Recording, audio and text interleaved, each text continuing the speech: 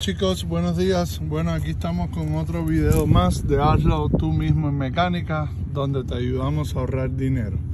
Entonces, en el día de hoy vamos a estar cambiándole el... Aquí tenemos la ciudad, pero el, el stop y el intermitente, que es el, el mismo, es el mismo bombillo con el mismo filamento, pues está está dañado. En este caso lo que vamos a hacer es que vamos a retirar, déjenme ver si lo podemos ver aquí, vamos a retirar este tornillo de aquí y este de aquí, donde vamos a utilizar un, un, T, un T30. Es el que, el que va a servir para esto. Vamos a utilizar el T30, aflojamos y simplemente vamos a retirar eh, aquí un poco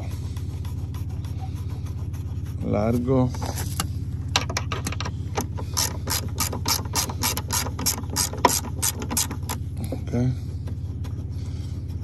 Vamos a retirarlo los dos.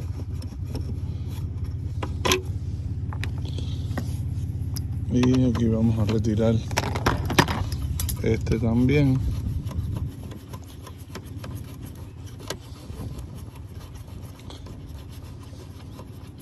y le vamos a dar especie de un golpecito por aquí al lado. Ahora les voy a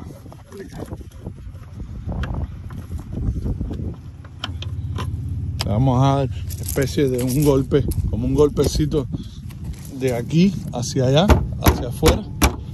Unos golpecitos y luego vamos a, a por aquí suavecito. Mucho cuidado para que no se, se parta una, estos dientecitos que hay ahí, ¿ves? Este que hay ahí, pues tiene uno aquí abajo. Le vamos a dar así, suavecito. Ahora estoy un poco incómodo. Ahí está. Miren, ahí está. Ya salieron los dos. Y simplemente vamos a quitar el, el foco de arriba. Aquí en el foco de arriba vamos a quitar la, esta seguridad la removemos hacia atrás. Y una vez que quitemos esa seguridad pues vamos a presionar aquí atrás y jalamos ok eso es en caso de que quieran quitar el sí, el soque solo para hacer cualquier arreglo o que quieran cambiarlo en caso de que esté dañado. Si no pues simplemente ustedes lo dejan puesto no hay necesidad de moverlo y lo que hacemos es, mire, lock y un lock. Le hacemos hacia arriba. Mire, ve. Aquí ha cogido bastante temperatura esto al parecer. Pero bueno, vamos a, a cambiarlo. Perdón. Déjeme bajar aquí el teléfono, perdón. Ok, mire. Mire, esto es lo dañado que está.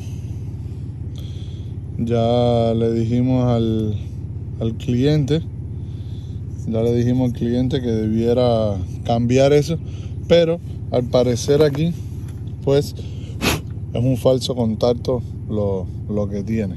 Okay, entonces simplemente vamos a cambiamos el bombillo y ponemos esto otra vez para atrás y ponemos los dos tornillos. Eso sería todo.